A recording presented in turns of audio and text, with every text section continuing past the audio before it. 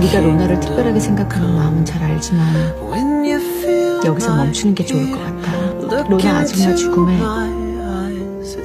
네 아빠가 연관돼 있어. 아니죠? 로나도 언젠간 알게 될 거고 너도 로나도 크게 상처받게 될 거야. 자신을 해치려고 한 사람이 엄마를 죽음까지 몰고 갔다면 어떻게 용서할 수 있겠어? 네 잘못은 아니지만 그만. 하, 다 알았으니까 그만하라고요. 내 잘못은 맞아요.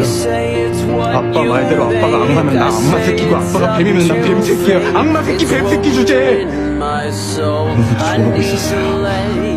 주제도 모르는 눈치 없이.